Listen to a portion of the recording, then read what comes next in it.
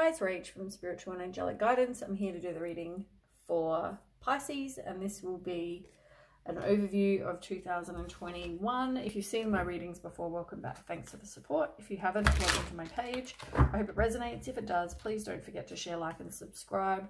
Um, it will not suit everybody. If it's a general reading, so just be aware of that and take what resonates and leave what doesn't. Uh, time is fluid, energy is vice versa. I'll be doing um, this card, these cards, and the angel uh, romance cards. I'm going to pull a card for the overview, I guess for the whole of the year.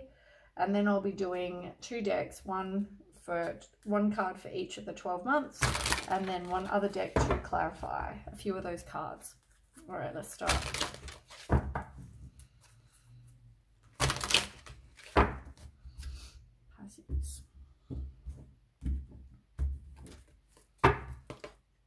Okay. One card for Pisces. Card for Pisces. Okay, Six of Thought. Peaceful times are now on the horizon. The storms are past and now you can see your destination is within sight. Stress in your life will begin to fade away, allowing for happier times. It may be necessary to take a journey over water um, to another country or to another country. Maybe you've shut off your heart at the moment, so make sure you are aware of that. Um, only you can open it. You might have been hurt in the past. Sorry about the noise in the background.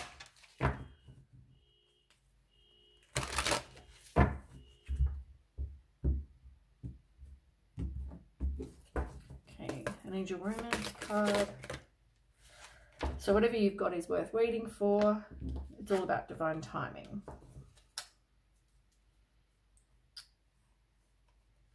Make sure, I guess, if you're in a situation at the moment or you've been in one, maybe you didn't pay attention to the red flags. Um, you might have been in a situation where there was unrequited love as well. All right, let's pick 12 cards for Pisces.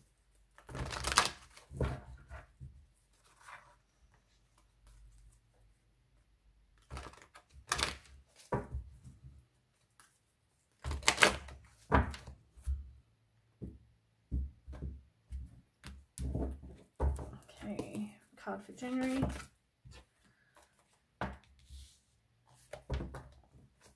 Card for February.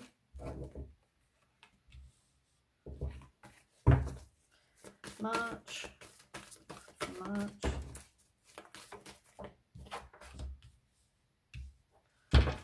April. May. June. July. Oh, got for July.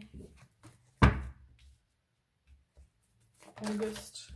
Oh, they're wanting to fly out September. Oop. I don't know which way that was. October.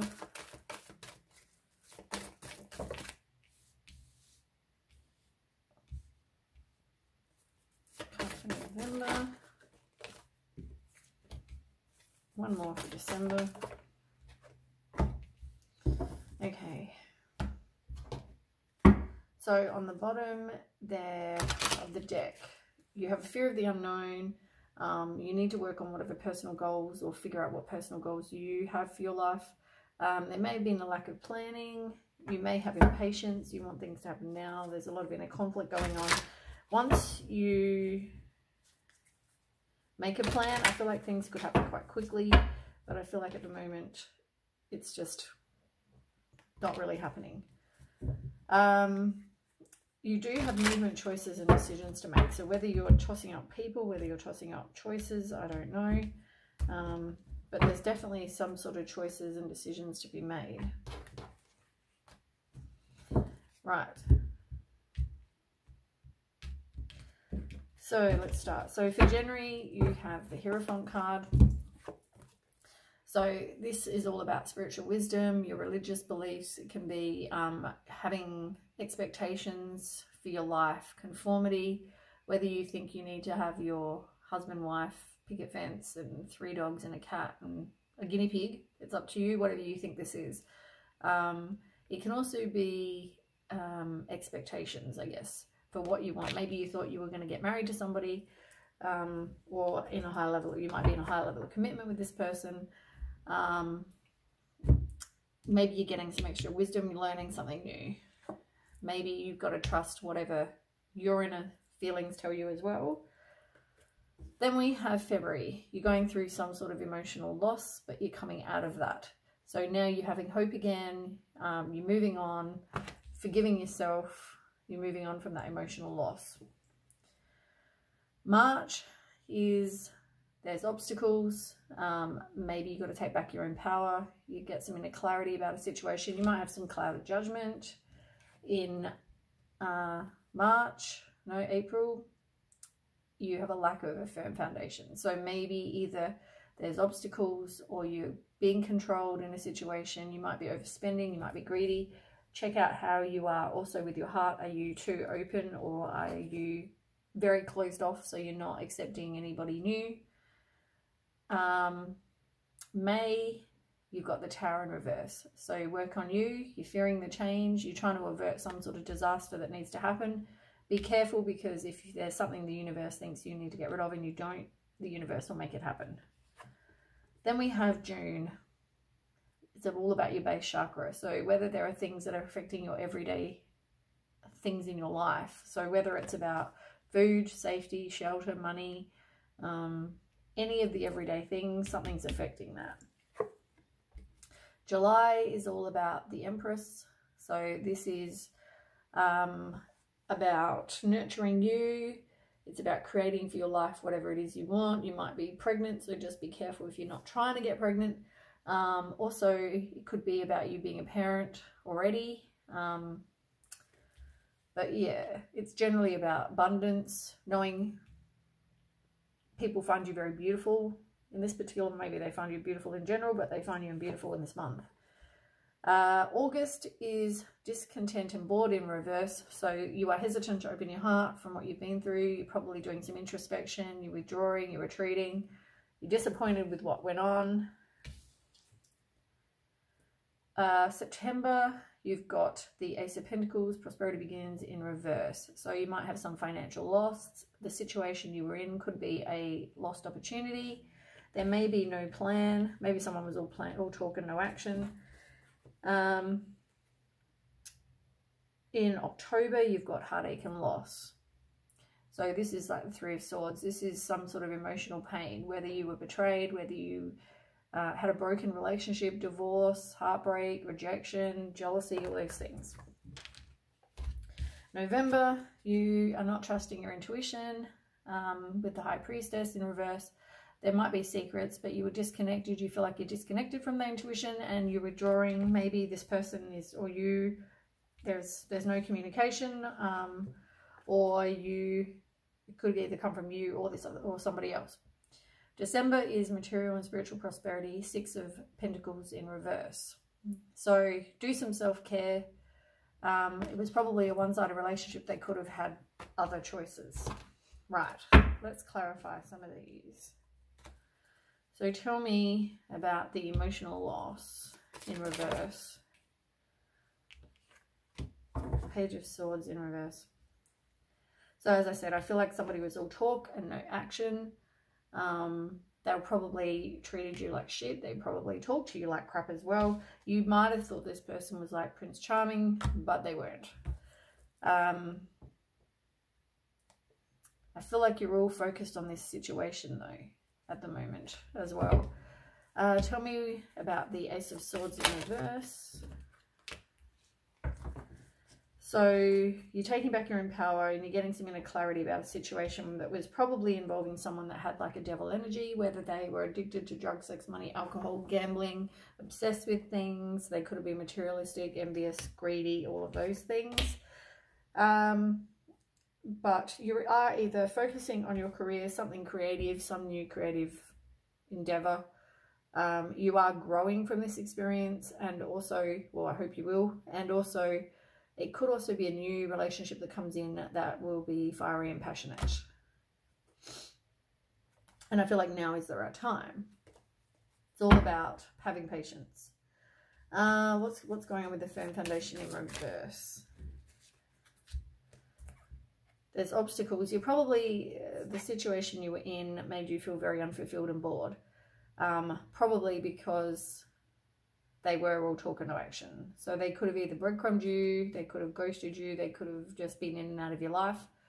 Um, but that just made you feel very bored, um, which is not offering you a firm foundation at all. Um, but you have hope again. You can wish upon a star. You can, miracles can happen. I feel like things will get better.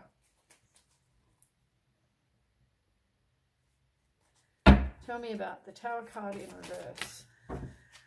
So this person, you probably um, didn't trust your intuition about them. There probably was things going on behind the scenes. They probably had an illusion of some kind you didn't see through. Um, could have been giving to multiple people as well, but you're still not wanting to end this situation. Um, so yeah, you're feeling stuck, you're feeling bored, you're not progressing. Um, why is it affecting your base chakra? You could have had, oh, you could have been very codependent to this person. Um,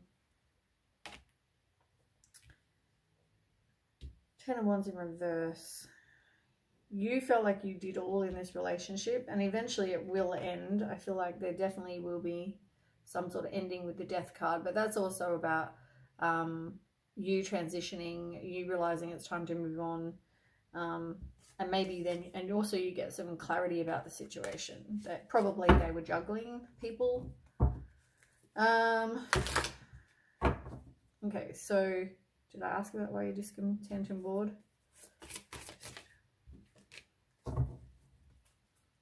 Yeah, you definitely need to do some self-healing.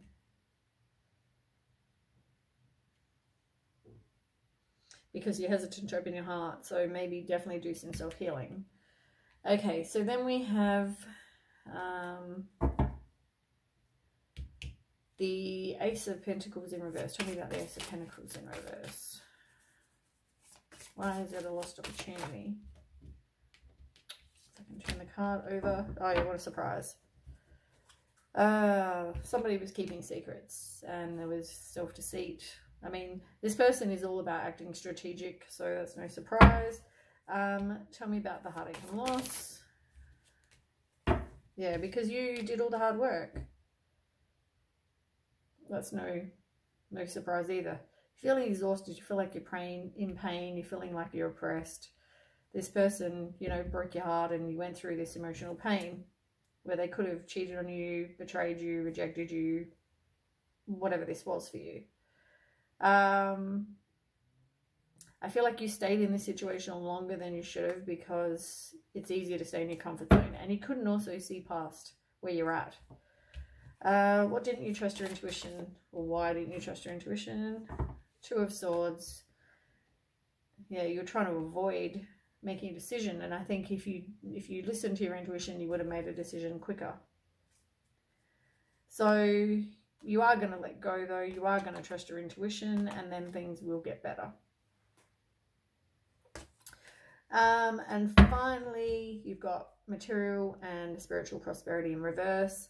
So as I said, self-care, that's like a one-sided relationship. Tell me about that.